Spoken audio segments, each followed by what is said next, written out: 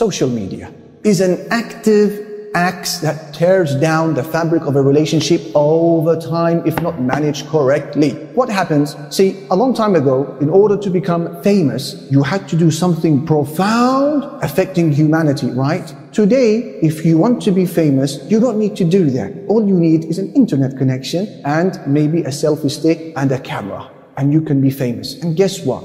The more clothes you take off, the more the likes. The more radical and crazy things we may do, the more the response rate we get. And then the greater the response rate we get, the more the dopamine, the more sense of gratification. And the more the sense of gratification, the greater the urge you will have to do more. What happens over time is that you and I will lose the ability to accept attention from one person because our brains have become rewired to only accepting and craving attention from many people. Why 30 likes when I used to have 300 likes? Why 3,000 likes when I used to have 300 likes? And then your poor wife or your poor husband wants to sit down and have a conversation with you. You can't do it anymore. You're fidgeting. You're yearning to get back on the phone and to see who said what and who liked what social media, brothers and sisters, if you are not doing anything profound with it, like for example, saving people from the hellfire, guiding them to Jannah, and glorifying Allah subhanahu wa ta'ala, which I would claim a lot of us are not doing, delete it altogether. If it is affecting our relationship, delete it altogether and save this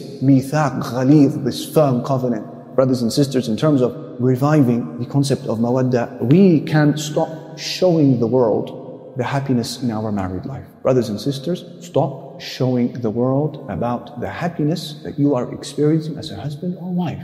The world doesn't need to see the photos of your marriage. And if your husband, your sister has bought you a huge bouquet of flowers, you don't need to show the world on Instagram that your hubby has just got you some flowers. Because you're telling me from those 500 people you have as your friends, or maybe the 5,000 still, none of them are unmarried, none of them envy you for where you are at, you are saying to me that none of them are married but are not suffering as married men or women? And then they see now this carefully uh, filtered photo that you have uh, uploaded and they're thinking, what about me? Don't you fear that an eye may affect you because the evil eye is real? Now we don't want to take this to paranoia, brothers and sisters.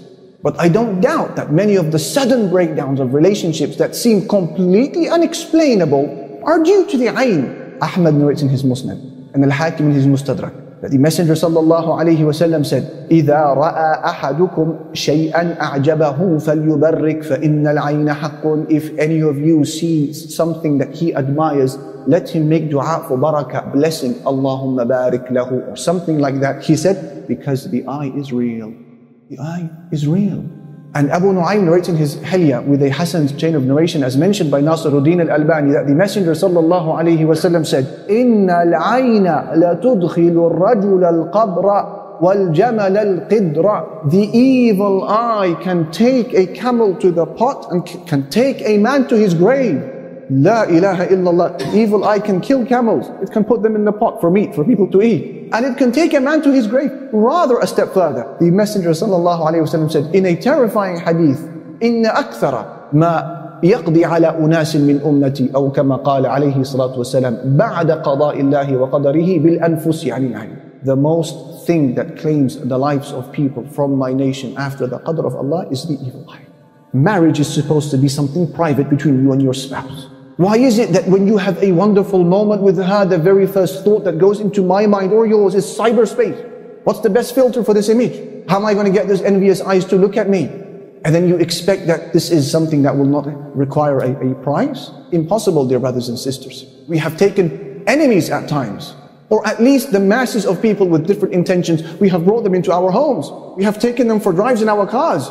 We have shown them our dates with our spouses. We might as well pack them a suitcase. Allah subhanahu wa ta'ala wants you to cover this, dear brothers and sisters, and only show it perhaps to those few people who you know want good for you. And at times, it doesn't need to be somebody who hates you to affect you with the eye. It could be purely admiration, but they don't say the right things, and then you are stuck. Don't put yourself, your brothers and sisters, in this corner. Put yourself outside of harm's way, and that means cover the khair that Allah Almighty has given you. Rethink your social media now as we are speaking to, to, to one another.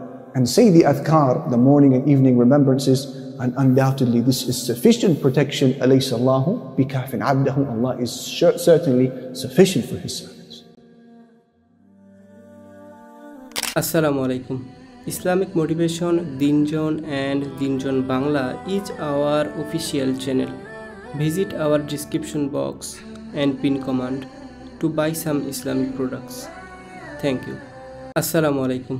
Islamic motivation, দিনজন and দিনজন Bangla is our official channel. Visit our description box and pin command to buy some Islamic products. Thank you. আসসালামু আলাইকুম। Islamic motivation, দিনজন and দিনজন Bangla is our official channel. Visit our description box and pin command to buy some Islamic products. Thank you. আসসালামু আলাইকুম। Islamic motivation, দিনজন and দিনজন Bangla is our official channel. Visit our description box and pin command to buy some Islamic products. Thank you.